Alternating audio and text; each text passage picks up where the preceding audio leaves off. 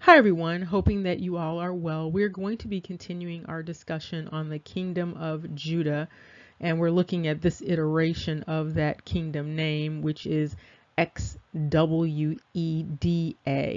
We have looked at this before in an earlier analysis a few years back, but we are revisiting this because of some anomalies noted related to this kingdom and also these new histories that are emerging related to this kingdom. It's unclear what is reliable and what is valid at this point.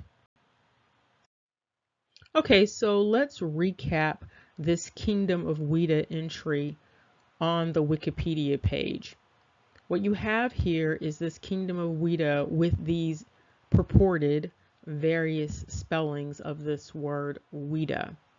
You also have JUDA as one of the offerings. What's noteworthy about this is that that JUDA, which we discussed a couple of years ago, is the Greek version of Judah. In other words, it's the Hellenized version of Judah, if that's what it is. What this means is, is for some strange reason, there is a Greek naming of this particular kingdom. You also have a dynamic where there's an assertion here that all of this is subsumed under Yoruba all of a sudden uh, all of this, the kingdom of Wida, it's all Yoruba now, according to this narrative. And so what you also have here is this offering that this XWEDA is the Yoruba spelling of this particular kingdom.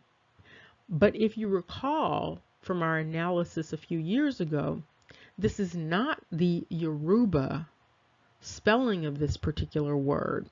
This is coming from another language, and we're going to look at that.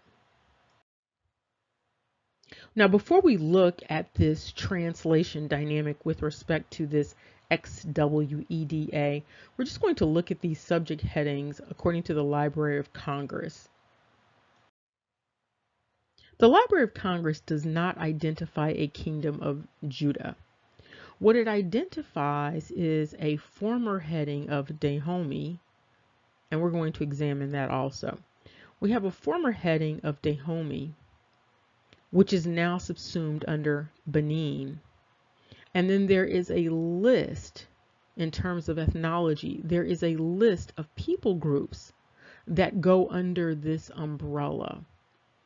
And what's noteworthy is you have, of course, the Fon. You also have this indication of Hueda, with the H-U-E-D-A. Now this is supposed to be the same as the X-W-E-D-A. And these are all identified as African people. So these are African people groups. However, you have two different people groups for Hueda and Zwida or Zvida when they are supposed to be one people group. And then you have the Yoruba that is supposed to be the people group under which these two other people groups are subsumed. And so you have two distinct people groups with Hueda and Zwida, uh, and we're going to look at the Zwida, however. So starting off, we are looking at this XW combination, and it is identified as detected for Kurdish. Now, this particular dynamic, this X and W, comes with some complicated betacism dynamics with that interchangeable B and V. What also is interchangeable is that V, W, and U. And so you have a number of dynamics going on here just with the X and the W.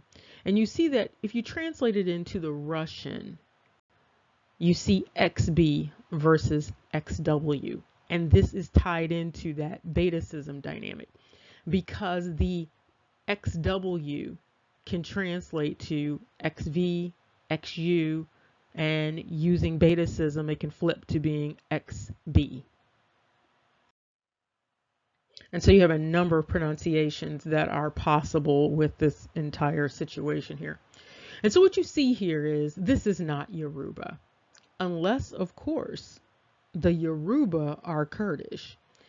So what you see here is in the Kurdish, this word essentially, when you look in all of these different languages, it's translating to God across the board. So you see in the Dutch, God. You see in the English, God. You see the equivalent of God in the Latin and the French. Again, you see the equivalent of God. Yet again, in the Portuguese, you see the equivalent of God. And so there is significant consistency with respect to what this word is supposed to mean. It means God in Kurdish. And when you translate into all of these different languages, you have equivalents of God. You see it in the Igbo, and interestingly, of course, you see it in the Yoruba.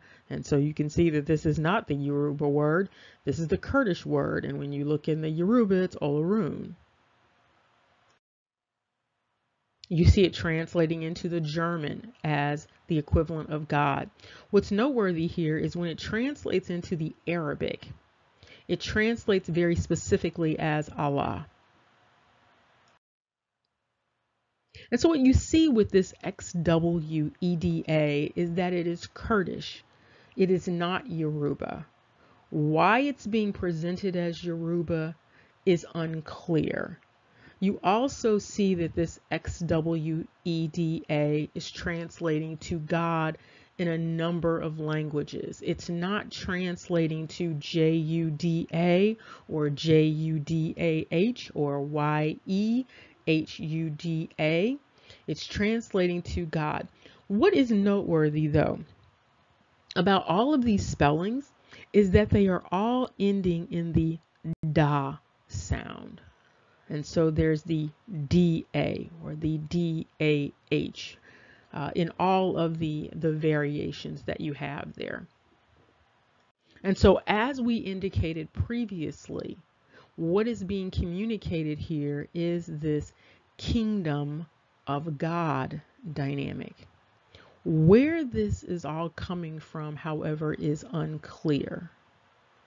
And the reason why it's unclear is because there is this inconsistency with respect to all of the spelling offerings because these words that are spelled don't all mean the same thing. And so when you have Zwida or Zvida, it's translating to God. But when you have a Judah, it's not translating to God. And so you have these different words that are translating to different things and the meanings are inconsistent. We need to round this out by looking at who the Kurdish people are, where they are actually located.